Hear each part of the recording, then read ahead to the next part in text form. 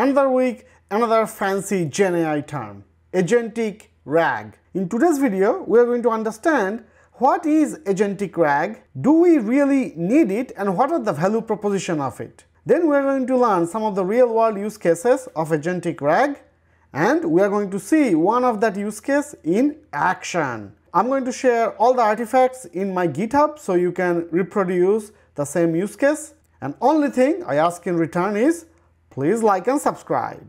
Alright, let's get started.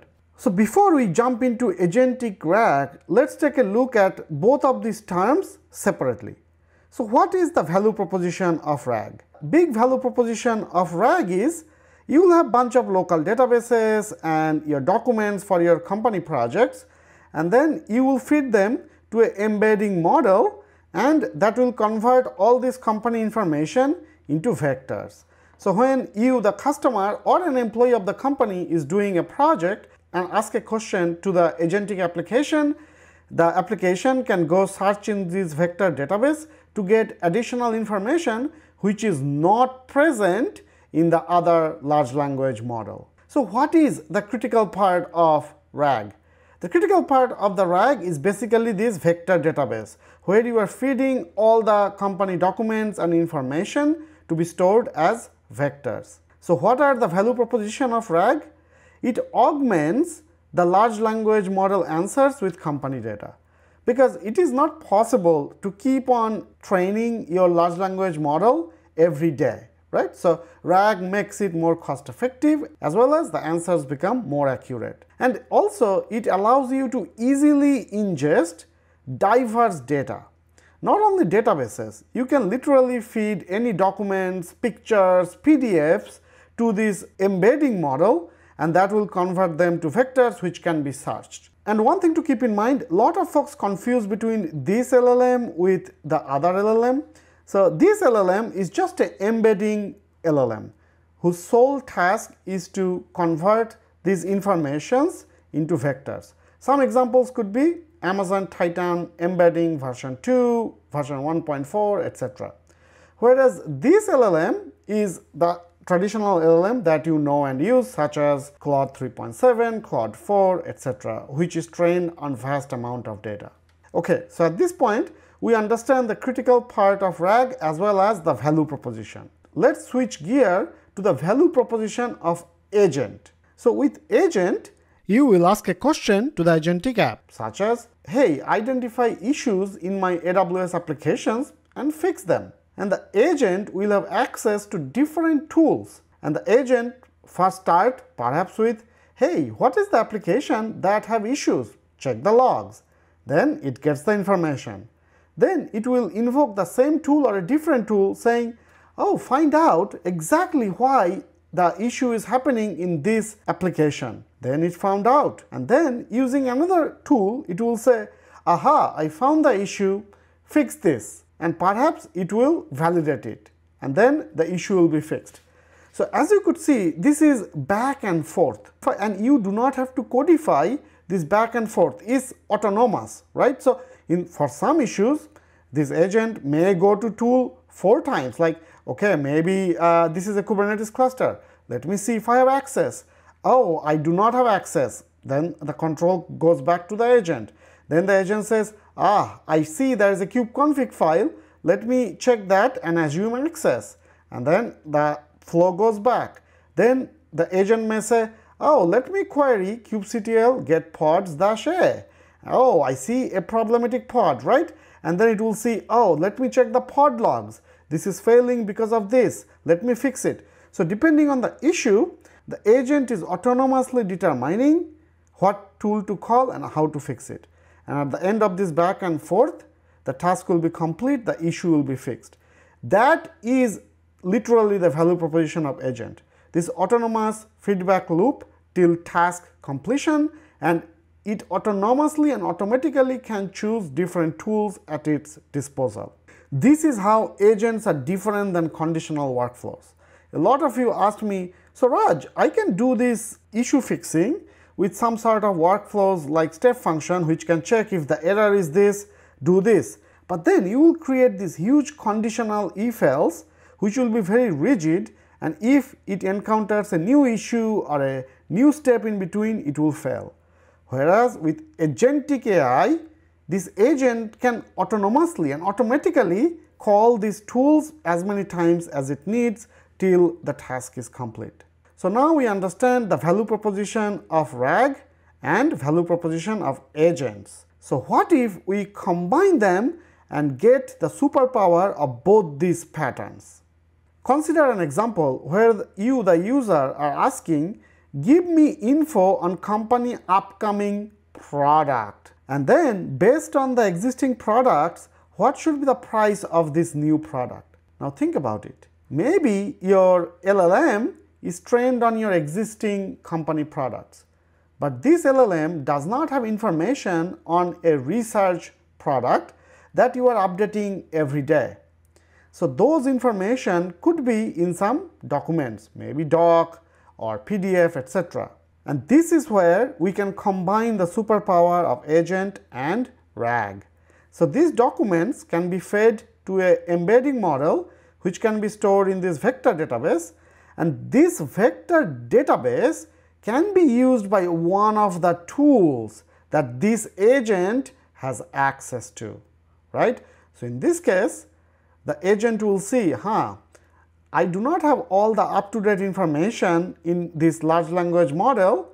Let me call a tool which has access to this vector database, get all the information and then I have information on the existing product from the LLM. Let me see what is the definition of the product, what are the details, specification and what are the prices and sales information and based on that I will determine the price of this new product which is in the research documents.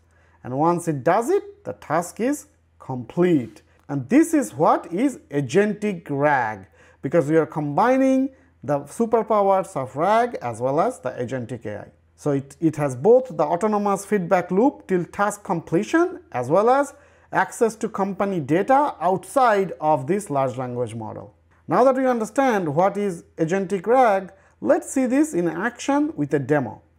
So for this demo, I selected a subset of this use case. So let's imagine we have something on the research pipeline and that part is not in the large language model, right? So that part is not here, but that part is in document and we are going to use the power of RAG along with agent to get all the information of company products both the existing one and on research. All right, let's jump into the demo. Okay, let's imagine the company is Tesla and Tesla is working on this secret robot called Tesla Maximus. This robot in, is inspired by legendary Roman general and gladiator Maximus Decimus Meridius and this is how he looks. It comes with full Roman outfit and it also has some specification, the model name, series, processor, mobility, the display, as well as some of the intelligence and capabilities. So this robot is trained on over 30,000 Roman historical texts, plays, etc. And this is my favorite feature. This robot is pre-installed with full Roman cookbook. Who doesn't love a good Italian dish? Alright, so it has some more information. And this information is not available in the LLM. For our demo, we are using Claude 4.0. I'm implementing these agents using AWS Strands. AWS Strands is newly released agentic SDK which makes creating agents interacting with LLMs and tools very easy. If you want to know how to set this up step by step, look at the other video that I did last week. Okay, and I'm going to share all the code so you can try it out yourself. This is the sample code and as always before you use these packages and everything you do the pip install and all that stuff. I will put all that information in the GitHub. Ignore these green lines, they are commented so that I can show everything in one code. In, in this AWS Strand agent, by default it has access to my Bedrock Claude 4.0. How can it do it? Well, it's running in my Visual Studio Code and I'm going to run this in the terminal. And in this terminal, I have set up AWS configure. And using AWS configure, it has access to my AWS account where I have enabled Claude 4.0. The strand agent also comes with some predefined tools which you do not have to code. In this case, I am using current time and use AWS. This use AWS is pretty powerful. You can give it in natural language or plain English to go look up some service or knowledge base or S3 bucket and it will do it without you needing to do any coding. I'm asking this agent what do you know about Tesla products? List the current product as well as research one. So at this point, there is no RAG involved. I'm simply asking the large language model. All right, let's run this. So to run this, I'm simply going to type python strand underscore rag dot py. All right, okay. So let's see what it got. So uh, first it checked current time tool, which obviously doesn't have any information on Tesla. Then the LLM itself has knowledge on Tesla products because those are existing products. However, based on my knowledge, I can share what I know about Tesla's product as of my last update. All the cars, S, 3XY, Cybertruck, energy products, as well as the FSD and Tesla is also working on a robot called Optimus, right? But as you could see, this agent does not have any knowledge about the research product such as the new Maximus robot. Now we are going to feed this Tesla Maximus robot information into a vector database and implement agentic RAG. I click create knowledge base with vector store in Bedrock and then I just rename this to knowledge base research products, scroll down and I'm going to select custom here. This is the easiest way to upload document as well as send something to the knowledge base. Click next. Click next again. I have to select embedding model. I'm going to select Titan Text Embedding 2.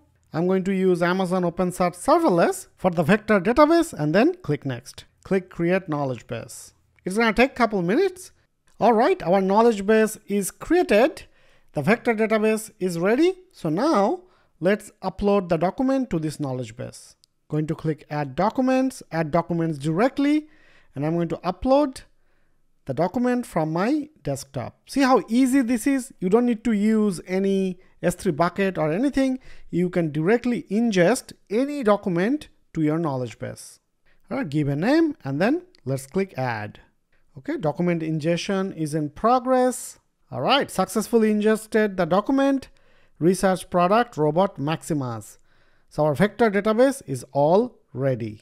Okay, let's come back to our strand agent and to use the Bedrock knowledge base, we use this tool called retrieve. Again, you don't have to code it. The strand agent comes with it. So what I'm going to do is I'm going to comment out this line and uncomment this line where I added this new tool called retrieve. Now we have to put a system prompt, tell it to retrieve from the Bedrock knowledge bases in our account. So I say you are a RAG specialist use the retrieve tool for queries.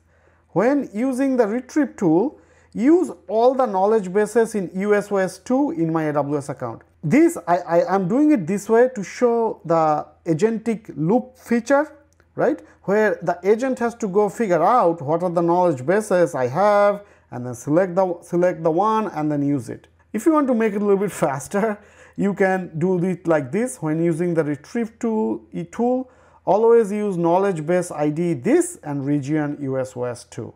You can specifically pass the knowledge base IDs to make it a little bit faster. Let's save this. So at this point, it has access to the RAG as well. Let's rerun this. All right, see how it is doing? It is calling different tools automatically. First, it called the retrieve and then it saw it needs the knowledge base ID. So then it called use underscore AWS so then it can it is searching information using the knowledge base. Okay, then it's doing retrieve, retrieve. So see, it's going back and forth. All right, look at this. After the retrieval, based on my search on the knowledge base, I can provide the following information about Tesla product. Research products, Tesla Maximus, a humanoid AI robot concept with Roman themed feature. Then it gives all the information from the vector database. And then it says, Unfortun unfortunately, the knowledge base does not contain comprehensive information about Tesla's current vehicle lineup and energy product. Okay, then it went to the LLM information and then it also gave information about Model S, E, X, Y, energy products, etc. Alright, if I go back to the PowerPoint, this is exactly what we accomplished. We understood the superpower of agent, superpower of RAG. Then we took a research paper, converted it into vector, saved it into a vector database. We created a strand agent. Now it can use both these vector database as well as information in the LLM so that you, the user, can get comprehensive information. If you want the latest cloud interview guide, including GenAI interview questions and their answers, with average answers that most candidates give, and delightful answers that sets you apart and get you hired, go to cloudwithraj.com slash newsletter. Again, cloudwithraj.com slash newsletter. Alright folks, that's it for this one. I'll see you guys and girls in the next one. Bye.